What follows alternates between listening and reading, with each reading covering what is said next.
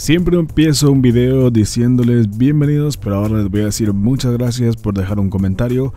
Pero este tema del TPS me llamó mucho la atención y me gustó más que lo haya dicho un funcionario que esté apegado mucho o muy cercano a Joe Biden. Pero los que están más apegados a mí son ustedes y por eso les doy las gracias. Y este tema es, ¿van a aceptar nuevas solicitudes de TPS para Centroamérica? Porque ustedes lo han estado preguntando, miren, aquí está Alberto Hernández, el TPS por los huracanes ETA y IOTA y más el COVID de Centroamérica.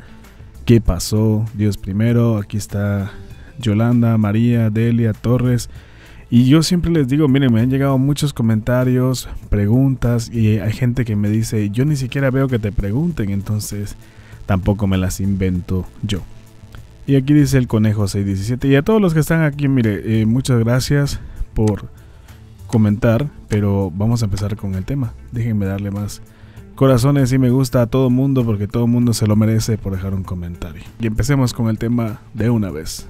Antes de que se pregunten y digan la voz que te vas a inventar el día de hoy, no me vengo a inventar nada porque así han estado diciendo algunas personas últimamente.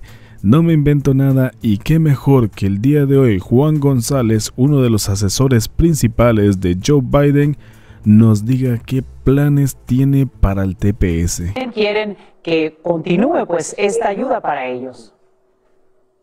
Definitivamente, eh, y el secretario Ade Mayocas, eso es algo que él está revisando y lo hace en coordinación con el Departamento de Estado. Obviamente están revisando la situación dentro de estos países que han sido muy afectados por, por huracanes del año ah, pasado y harán una determinación apenas eh, completen ese, ese proceso. El tema de Venezuela era algo que desde la campaña ya el, presidente ya había ah, ya estaba revisando durante la transición, es algo que ya había comenzado ese proceso para revisar la situación. Les voy a explicar un poquito antes de que se me vaya esto de la mente. Me puse a investigar mucho porque se me hace muy raro que den TPS a 300.000 personas, que por cierto no es nada de envidia y felicidades a Venezuela porque se lo dieron, pero se me hace muy raro que estén a punto de darle residencia a personas que tienen TPS y justamente den TPS a 300 mil personas más. Revisando y lo hacen en coordinación con el Departamento de Estado. Obviamente están revisando la situación dentro de estos países que han sido muy afectados por, por huracanes del año ah, pasado y harán una determinación apenas eh, completen ese, ese proceso. Con las propias palabras de él, él está diciendo, estamos revisando y estamos viendo que los países Guatemala, El Salvador, Honduras, Nicaragua y Haití puedan obtener el TPS, a menos yo así lo entiendo, y que ya están revisando eso. Vuelvo a repetirles, la noticia es de marzo 9 del 2021. Hoy estamos 10 de marzo del 2021. Sé que ustedes se van a preguntar, bueno, ¿y eso qué tiene de tan importante? Recordemos que El Salvador ya tiene TPS, Honduras ya tiene TPS, Nicaragua ya tiene TPS.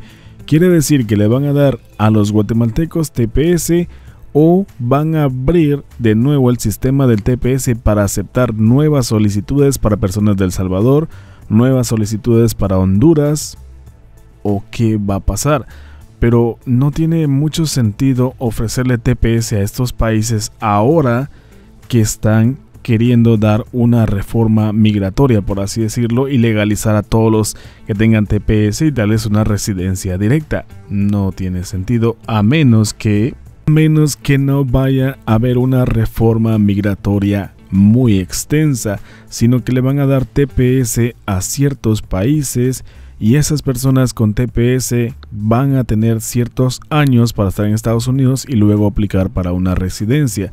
Eso tiene más lógica que hacer una reforma migratoria grande. Sé que suena envidioso y suena desesperante para las personas que ya tienen TPS y tienen 20 años acá, 10 años acá. Lo entiendo perfectamente, pero lo que no tenía sentido es que le den TPS a nuevas personas de la noche a la mañana. Imagínense si en abril aprobaran una ley que todos los que tienen TPS tengan residencia directa de un solo. Mm, no sé, se volvería loco el sistema de que apliquen para algo y luego apliquen para otra cosa. Antes de que digan la voz te volviste loco, yo me salgo de este video, no lo hagas. Escucha por qué. Porque vamos a utilizar las palabras que dijo el asesor allegado a Joe Biden, que no es apegado a mí, es apegado a Joe Biden. Él dijo, claro, el TPS para Venezuela ya lo estaban, digamos, hablando, vamos a decirlo con un español más común, antes de que Donald Trump dejara la Casa Blanca no estamos diciendo que lo hicieron después de que Joe Biden entró, ya lo estaban haciendo antes y también están haciendo lo del TPS, digamos, para Centroamérica. El tema de Venezuela era algo que desde la campaña ya el, presidente ya había ah, ya estaba revisando durante la transición, es algo que ya había comenzado ese proceso para revisar la situación en el país, entonces es algo que avanzó mucho más rápido, también reconociendo la crisis humanitaria son palabras de ellos, no son mías. Por cierto, que les voy a dejar en la descripción la entrevista completa que le hizo Sacha Preto a él y es ahí donde él dice eso. Y quiero que se den cuenta en la fecha del video para que no digan esta es noticia vieja, esta noticia es falsa, eh, te lo estás inventando. No, escúchenlo ustedes y ustedes saquen la conclusión y veamos, mejor dicho, dejemos que el futuro nos diga qué va a pasar. Pero espere, no se vaya, no se vaya que hay algo más. Encuentran en Estados Unidos, siempre y cuando demuestren que ingresaron a este país antes del 8 de marzo de este año, es decir, ayer. Esto significa que unas 320 mil personas pueden solicitar vivir y trabajar legalmente aquí. Después de haber escuchado este audio, quiere decir que si una persona de Venezuela vino en la caravana, automáticamente tiene TPS ¿Y qué va a pasar si califican el TPS para Honduras? También van a poner una fecha reciente de ingreso. O sea que las personas que entraron hace dos días, porque hoy es 10 de marzo del 2021, calificarían para TPS. Esto, tome usted conciencia de lo que le voy a decir. Quiere decir que abre la puerta para miles de personas, incluyendo las personas que vinieron en las caravanas, a poder optar para un TPS si llegaran a darlo para los demás países. No quiero sonar a envidia porque estoy feliz hasta de la gente que viene a las caravanas porque ellos andan buscando también un mejor futuro.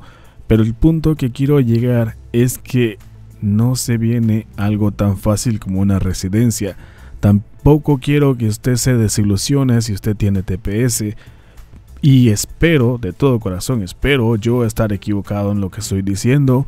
Porque desilusionaría a muchísima gente que tiene la esperanza en que en abril se aprobaría algo para que las personas con TPS tengan residencia. De todo corazón deseo que en abril que nos den el chance ellos de aprobar alguna ley que diga a los TPS, a los que tienen TPS, aquí está la residencia. De corazón lo deseo porque tengo muchos amigos conocidos, familiares no, pero sí tengo muchos conocidos que se lo merecen. Me gustaría que me dejara un comentario qué opina de este tema. Estamos exagerando Estamos diciendo la verdad, suena lógico, suena ilógico, es absurdo, nos volvimos locos, no sé. Eh, a veces tal vez me escuchan hablar en plural porque no soy solo yo, aquí detrás de mí hay muchas personas que trabajamos creando contenido para otras cosas y me gustaría que ellos también supieran qué opina usted. Nos vemos hasta la próxima, un video más de La Voz 4K.